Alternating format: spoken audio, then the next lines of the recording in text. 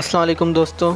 जैसे कि आप सब जानते हैं कि Pakistan cricket team Asia cup में सुपर फोर में ही बाहर हो गई थी और इस वक्त पाकिस्तान क्रिकेट टीम की सिचुएशन बहुत ही क्रिटिकल है। क्योंकि हमारे बेहतरीन फास्ट बॉलर्स शाहिन शाह अफरीदी, नसीम शाह और हारिस रऊफ़ इस वक्त बहुत मुश्किल के शिकार हैं।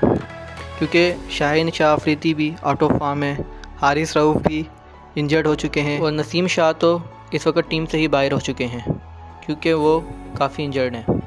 और जैसा कि आप जानते हैं कि आईसीसी क्रिकेट वर्ल्ड कप भी बहुत नज़दीक है। तो अगर Pakistan cricket team world cup जीतना चाहती है तो उनको अपनी टीम में चेंजिंग ज़रूर करनी पड़ेगी।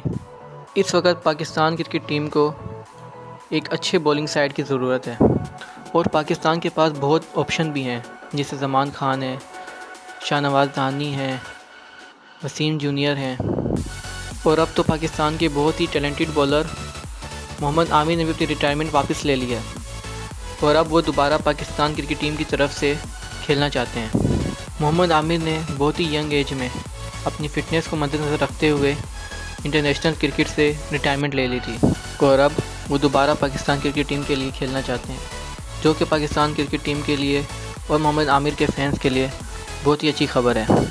अब अगर हम मोहम्मद आमिर की क्रिकेट लाइफ के ऊपर थोड़ा सा नज़र डालें तो उन्होंने 4 जुलाई 2009 में श्रीलंका के खिलाफ टेस्ट मैच से पाकिस्तान क्रिकेट टीम में डेब्यू किया। मोहम्मद आमिर एक लेफ़्ट आर्म फास्ट बॉलर हैं। उसके बाद मोहम्मद आमिर ने टी में 2009 में टी वर्ल्ड कप में अपना डेब्यू किया। उन्होंने इंग्लैंड के खिलाफ अपना पहला मैच खेला और रवि बुपारा जैसे लेजेंड प्लेयर की पहली विकेट हासिल की। मोहम्मद आमिर एक बहुत ही टैलेंटेड बॉलर थे, जिन्होंने बहुत से बड़े बड़े क्रिकेटर्स की विकेट्स दी हैं। जिनमें रिकी पोंटिंग विराट कोहली जैसे माया नाज बैट्समैन भी शामिल हैं।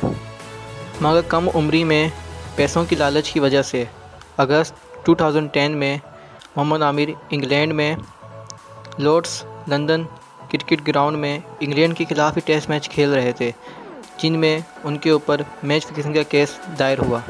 और उनको जून 2011 में पाँच साल के लिए इंटरनेशनल क्रिकेट से और हर किस्म के क्रिकेट से बैन कर दिया गया।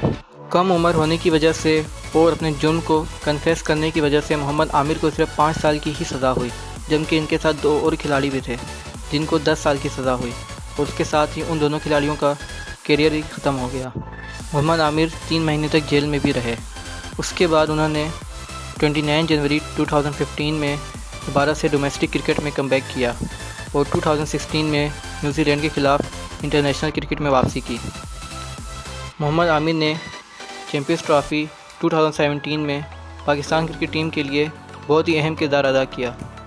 और फाइनल में तो उन्होंने बहुत ही शानदार बॉलिंग की और पाकिस्तान को चैम्पियन बनने में बहुत ही अहम किरदार अदा किया।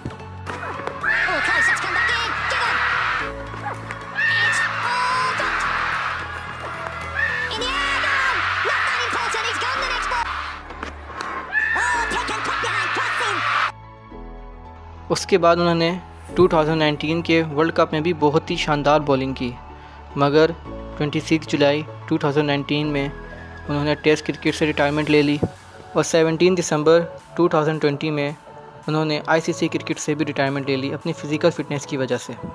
तो अब जैसा कि मोहम्मद आमिर ने रिटायरमेंट वापस ले ली और दोबारा से पाकिस्तान क्रिकेट टीम के लिए खेलना चाहते हैं तो आप कमेंट सेक्शन में ये लाजमी बताएँ कि मोहम्मद आमिर को पाकिस्तान क्रिकेट टीम में शामिल किया जाए या ना किया जाए।